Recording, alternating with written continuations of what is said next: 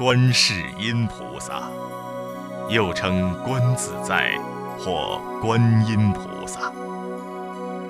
全称尊号是大慈大悲救苦救难观世音菩萨。观世音菩萨是佛教由印度传入中土后，影响最广、最受人尊崇的大菩萨之一。记载观世音菩萨的佛教典籍数不胜数，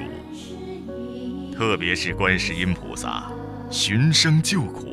大慈大悲的灵通感应垂化事迹，更是亘古流传。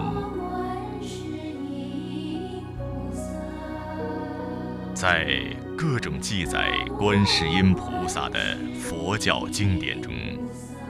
特别以《妙法莲华经》第七卷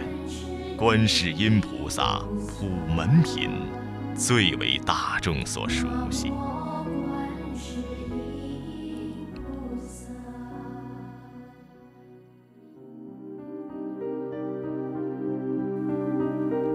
此时，释迦牟尼佛在王舍城的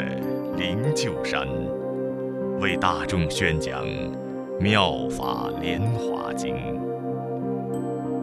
有一位无尽意菩萨向释迦牟尼佛顶礼请法。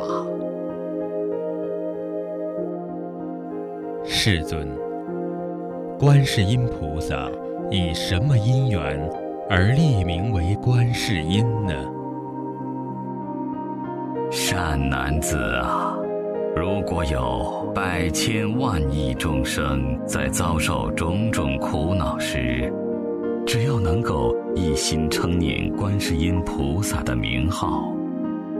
观世音菩萨就会立即听闻到求救的音声，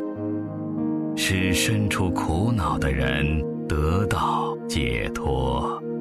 因为这尊菩萨有着大威力、大神力呀。